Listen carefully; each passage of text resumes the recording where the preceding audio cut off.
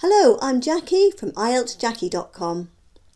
All the lessons in the listening section of the website and on my YouTube channel are packed full of tips, strategies and advice. But this video covers 10 things I especially want to highlight. Tip 1 is to listen to English every day. This is the only way to improve your listening skills. It doesn't matter if it's just 10 to 15 minutes here and there as you're travelling on a bus, eating lunch or cooking tea. Just listen to something. You need to hear English used naturally in many different contexts and spoken with a range of accents. In your test, you could hear speakers from the UK, including different regional accents, from Ireland, the US, Canada, New Zealand, Australia or South Africa. Tip 2. Listen to a range of things. The test will include two monologues, where just one person speaks, and two conversations, so you must practice listening to both. You'll find all the practice material you need online. Podcasts and TED Talks are great for listening to monologues, and radio broadcasts and interviews on YouTube ideal for conversations. Tip 3. Improve your vocabulary. This might seem obvious, but many students don't know the most effective way to improve their vocabulary. Just memorising lists of words will achieve very little. You won't fully understand the words, what they mean and how they're used in context, and you'll quickly forget them. When you listen to spoken English, listen actively. That is, note down words you hear that are unfamiliar and you don't fully understand. Then check them out in a dictionary. Note the meaning, pronunciation, how the word is used in a sentence, common synonyms, antonyms and collocations, and record all this information in your vocabulary notebook. Yes, this takes time, but it's time well spent. Every time you do this, you'll have added one more word to your vocabulary that you'll remember and be able to use confidently in all parts of the IELTS exam. Tip 4. Have a strategy. To score highly in the listening test, you need to understand the 10 different types of questions and have a strategy for answering them. Here are the 10 different types.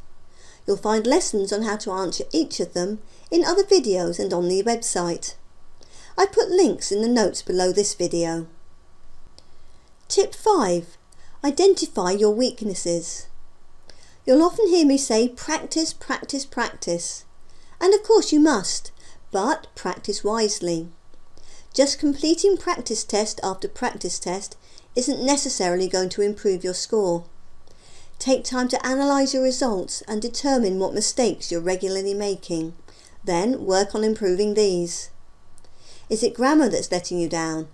A limited range of vocabulary? Or do you find it hard to follow conversations?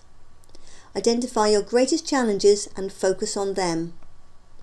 The Cambridge English books of authentic test papers and some online tests include transcripts of recordings. These will help you to understand why you got a particular answer wrong, so make use of them. Tip 6. The importance of the introduction. Before the first speaker begins talking, there will be an introduction by a narrator, in which you'll be told what the recording is about, for example, you will hear a part of a seminar entitled Understanding the World's Oceans given by a climate scientist. The speaker will then begin the talk or conversation by introducing themselves and often the subject or purpose of the talk. For example, thanks to all of you for coming along today to hear about how the Robotic Float Project is helping with ocean research. These introductions give important information that will help you to understand the recording. So listen carefully right from the start. Tip 7. Signpost language. As the speakers talk, listen out for signpost language. We use signposting to connect ideas and indicate to listeners that we're moving on to a new idea. Signpost language includes such words as first, second, then, next, after that, finally. In map or plan labelling questions, you might hear phrases such as moving on, or now we come to, or beyond the library you'll come to the. These also indicate progress. Recognising signpost language will help you to follow the recording and better understand what's being said. Tip 8. Remember to use capital letters for proper nouns.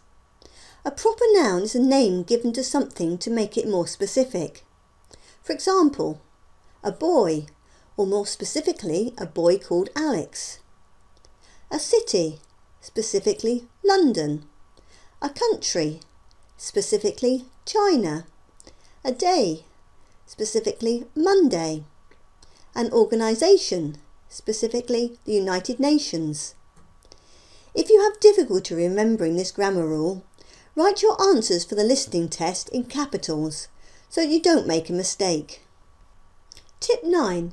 Read the instructions. Read them very carefully, paying particular attention to how many words you're allowed to write for the answer. For example, write no more than three words and or a number for each answer. If you write more than three words, your answer will be marked incorrect, even if the information you give is correct. Other questions might tell you to write no more than two words or only one word, so be very careful. Don't lose marks over silly mistakes like this. Tip 10. Are you ready? Don't book your test until you're ready to take it.